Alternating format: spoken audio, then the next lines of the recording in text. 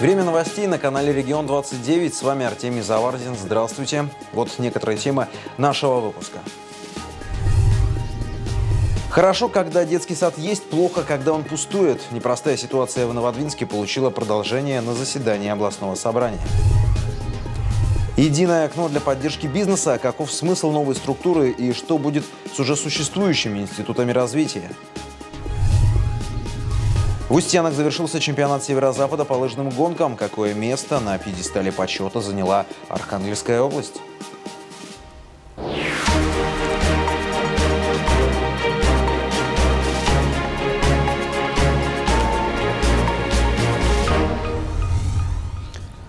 Информация о том, что в аудитории СГМУ было разлито 4 килограмма ртути, не соответствует действительности. Новость фейковая.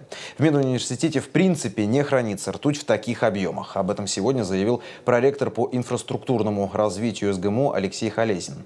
Напомним, 21 января при проведении ремонта в одной из аудиторий под полом рабочие заметили капли ртути. По предварительным оценкам, объем найденного опасного металла не превышает 50-100 граммов, а 4 килограмма – это вес строительного мусора, в котором котором собрали ртуть. Угрозы жизни и здоровья, безусловно, нет. А, аудитория, которая находится поблизости, этажом выше, этажом ниже, по соседству, они все обследования, все измерения показали, что все находится в норме. Сейчас в помещении аудитории проводятся работы по демеркуризации, то есть удалению остатков ртути. Завтра там проведут повторные замеры концентрации опасного металла. Бывший директор Красноборской школы получил 9 лет строгого режима за развращение учеников. Сергей Ананин признан виновным в совершении трех преступлений. Установлено, что в течение полугода с января по июнь 2018 он совершал в отношении пяти несовершеннолетних действия сексуального характера. 67-летний мужчина заманивал мальчиков к себе домой сладостями и деньгами. По решению суда бывший директор школы проведет в колонии строгого режима 8,5 лет. Закрывать нельзя оставить. Где поставить запятую в этом предложении, решают в администрации Новодвинска. В городе Бумажников началось сокращение педагогов детских садов. Все говорит о том, что не за горами и закрытие учреждений дошкольного образования. Рождаемость падает, детей в Новодвинске становится меньше. Сегодня на проблему, проблему обсуждали в Архангельском областном собрании депутатов. Анна Рязанова продолжит.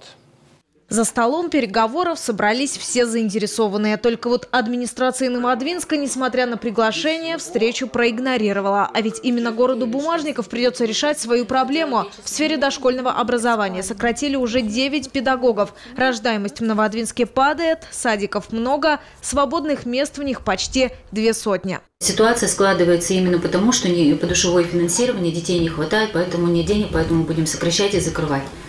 Все, вот это конкретно пока вот то, что нам говорят. При этом финансирование сферы образования в Новоадвинске в 2019 увеличено на 22 миллиона рублей. Куча программ существует не только по образованию, по системе образования, других программ, по другим направлениям. К сожалению, наш муниципалитет в этом участвует недостаточно, ну, слабо. Давайте откровенно говорить слабо. Когда приезжал губернатор к нам, он нас сравнил с одним из районов, не буду тут называть каким, что этот район получает в разы больше финансирования, чем муниципальное образование город Новодвинск, который находится в 25 километрах от областного центра. По данным областного Минобра, в среднем укомплектованность групп в детских садах Новодвинска отвечает норме. Воспитатели уверяют, не везде. А ведь еще несколько лет назад на места в детсадах здесь была очередь, потому и построили в городе Бумажников новое образовательное учреждение. Надо было, наверное, сразу параллельно рассматривать вопрос о Конечно. закрытие старого какого-то сада. И сразу весь сад коллективом перевести в новый сад. Я считаю, что это актуальная проблема, потому что у нас стоит на пороге вопрос, э, вопрос э, с постройкой новой школы. Чтобы не оказалось так же, что у нас по три класса бегает на всю школу, а у нас зато большое количество школ в городе. Новодвинских педагогов, оставшихся без работы, готовы принять дошкольное учреждение Архангельска. Здесь есть вакансии. В целом в области сейчас работает 346 школ и 179 детских садов. О закрытии хотя бы одного из учреждений образования речи пока не идет, утверждают в региональном Минобре. Сейчас, э, наоборот, э, мы строим дополнительно э, и порядка 20 детских садов нам надо построить за два года. В этом году на сферу образования в регионе выделено финансирование в 22 миллиарда рублей. Это на миллиард двести больше, чем в 2018 -м. Анна Рязанова, Александр Кузнецов, Регион 29. Единое окно поддержки предпринимателей заработает уже в первом полугодии 2019-го. Проект объединит на одной площадке региональные институты развития, а также упростит доступ к федеральным. В региональном Минэкономразвитии уверены, наш бизнес-инкубатор, фонд микрофинансирования и корпорация развития сегодня неплохо выстроены, но территориально разбросаны и не увязаны в один комплекс. А вот по принципу единого окна все будет проще. Предприниматель пройдет регистрацию в специальной системе, которая обработает его запрос и направит непосредственному исполнителю. Я достаточно часто использую образ больницы. А, задача такая, то есть приходит предприниматель, у которого что-то болит, которому что-то нужно, да, а приходит э, в этот вот центр, и, собственно говоря, а, на входе его встречает терапевт, терапевты, да, спрашивают, что у вас болит, что у вас тревожит, на что вы жалуетесь, и э, дальше определяют, куда лучше предпринимателю подойти, где ему ну, более глубоко по обозначенной теме э, подскажут, проконсультируют. У единого окна будет свой колл-центр и сайт, а вот под какой именно крышей найдут прописку помощники бизнеса, решается. Одним из вариантов эксперты называют здание морского речного вокзала, которое перешло в собственность области. В Устьянской Малиновке завершился чемпионат Северо-Запада по лыжным гонкам. Сборная Поморья на пьедестале почета.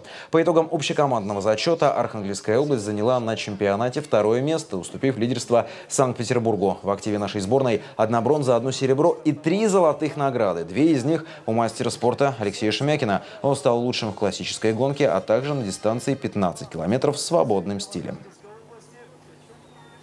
Ну, в принципе, Моя дистанция, пятнашка, коньком, моя любимая.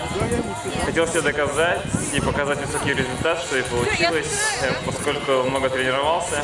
А, вот. Ну и спасибо тренеру за подготовку лыж.